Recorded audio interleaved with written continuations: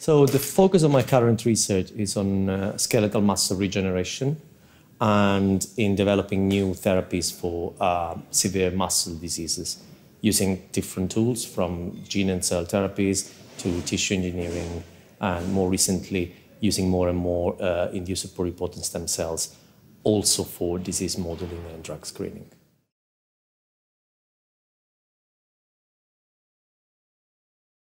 Undoubtedly sort of boosted my confidence, which is always good. Um, sort of I felt rewarded of years of hard work, and I had many more collaborators that approached me, um, and we started to write grants together and things like that. So uh, yeah, definitely, definitely helped.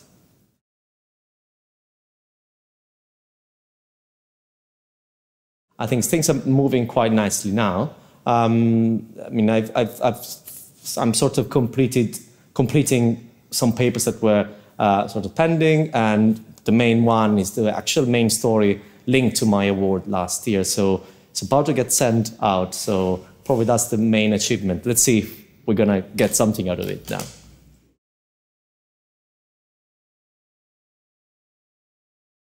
So hopefully I'll see my research.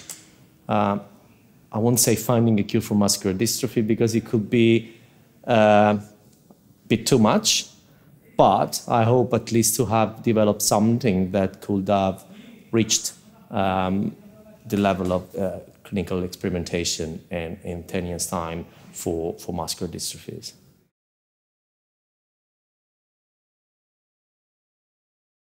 Just follow your dreams. Um, you cannot really predict too much. You cannot micromanage your career too much. So I think just follow your dreams, be rigorous and creative at the same time, and just go with the flow.